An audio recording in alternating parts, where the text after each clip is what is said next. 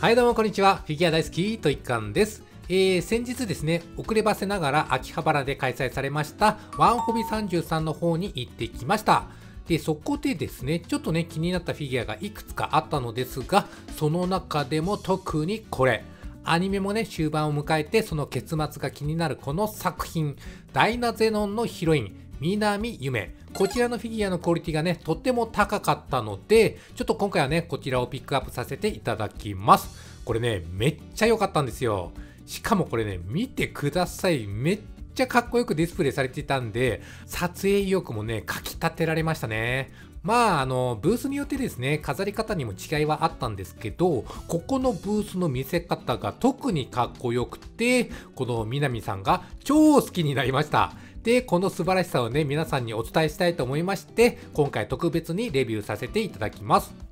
ちなみに今回のこの南さんはアニメを制作しているトリガーさんの完全新規書き下ろしイラストを元に立体化しているそうです。しかもこれが例の通学にも使っているあのダイナウィングのコックピットの中なんですよ。あの遅刻しそうな時にピュンってね飛んでいくやつね。で、そのコックピットまで忠実に再現していると。しかもこのボリュームなのに、スケールが6分の1なんです。そうなんです。結構な大きさ、ボリュームがあるんですよ。で、ご覧の通り、南さんの出来もいいんですよね。ちょっと浮き上がっているんで、まあ、これはね、戦闘中に衝撃を受けた瞬間とかって感じなんでしょうか。で、髪の毛なんかも、もともとね、ふわっとしてる南さんのヘアも、さらにね、上深かった、こう、ふわふわっとしたね、造形になっているんです。で、顔もね、めっちゃ可愛いし、まあ、いつものね、クールな表情が、まあ、世界観を出してますよ。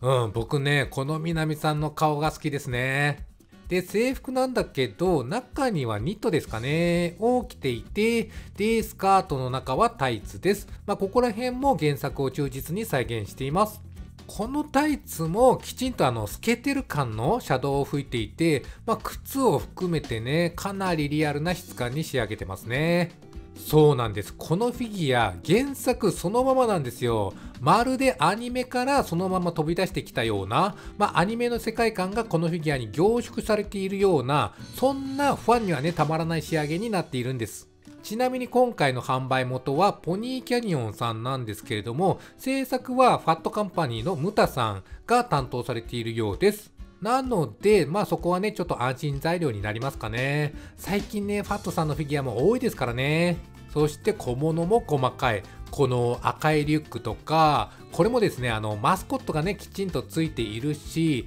で、塗装もすごくリアルなんですよ。この使い古し感ちょっとした汚れなんかもこのようにシャドウを入れてあの施しているんですよ。最近のフィギュアって本当にすごいですよね。そしてあの例のね知恵の輪もあってこれはねあのお姉さんのね知恵の輪まあこれもねつけてくれるのが嬉しいさらに例のコントローラー、これでどうやって動かすんだよというツッコミもあるんですが、まあでもね、何気にこのコントローラーをつけてくれるのが嬉しい。あの、ちょっとね、見えづらいんですけれども、このコントローラーの下のところ、あとこのコックピットの足元のところ、ここはね、あの、光ってるような演出のあの塗装が施されているんです。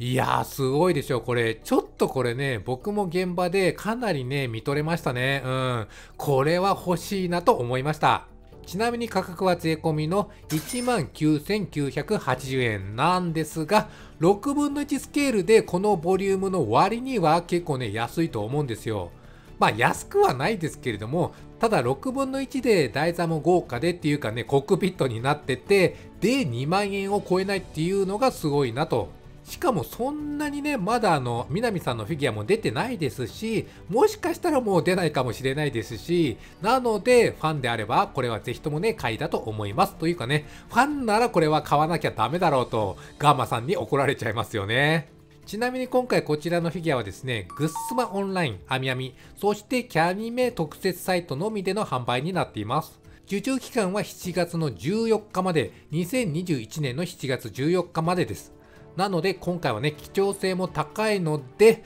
まあ、欲しい人は必ず予約をして買いましょう。この南さんのフィギュアはかなり貴重だと思います。買わないとガウマさんに怒られます。購入先のリンクは下の説明欄に記載しておりますので、気になる方はチェックしてみてください。まあ本当にね、これはおすすめだと思います。ではでは、フィギュア大好きといかんでした。またねー